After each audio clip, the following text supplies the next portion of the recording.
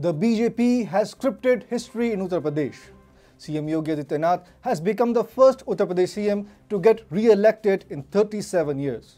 But there's another important factor here, as Kamandal politics seems to have won at the expense of Mandal politics. Hi and welcome to TFI English, the national socio-political analysis arm of the TFI Media Group.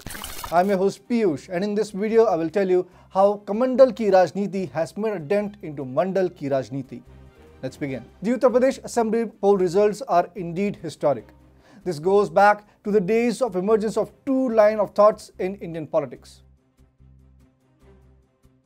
Mandal politics of the late 1980s sought to create caste coalition of backward classes and Kamandal politics, a broad strategy of the BJP to bury caste divisions and unite voters. For the past 30 years or so, politics in several northern Indian states, especially UP and Bihar, has been dominated by Mandal Kamandal binary.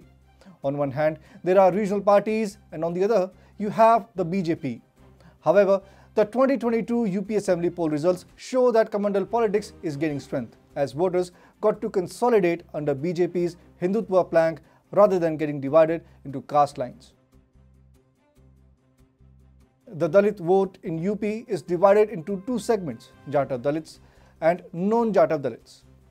BJP's development agenda helped it in gaining known Jatav Dalit votes in different parts of the state, including Awadh and Purvanchal.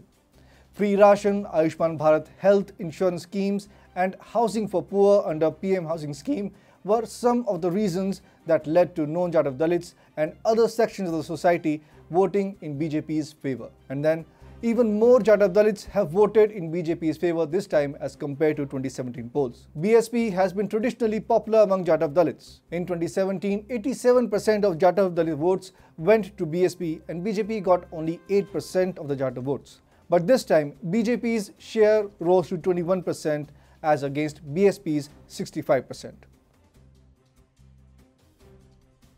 Before the assembly elections, a narrative was being weaved that BJP was a party of Thakurs and Brahmins will not vote for it.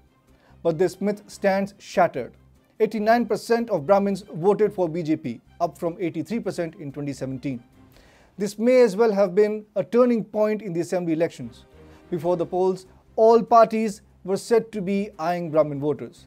It was only natural since Brahmins make up a significant voter constituency in the state, next only to Jatavs and Yadavs. In 2017, 58% of known Yadav OBCs had voted in BJP's favor. This figure has surged further to 65% this time around. On the other hand, 87% of Rajputs have voted in BJP's favor against 70% votes in 2017. In the run-up to assembly polls, it was being said that BJP will not do well in Western Uttar Pradesh. Why? Well, it was being surmised that Jatavs, the dominant community in Western Uttar Pradesh, wasn't happy with the BJP because of the three farm laws and the agitation that followed. Western UP has a good concentration of farmers, which explains the narrative. However, 54% of Jats voted in favor of BJP alliance the BJP has found more electoral support from the community as compared to 38% of Jats that voted in 2017 assembly polls. At the end of the day, the idea of backward caste versus upper caste voters seems to have become anachronistic, at least if we go by 2022 assembly poll results. Caste divisions have clearly got blurred and people of UP seem to be in the favor of growth and development.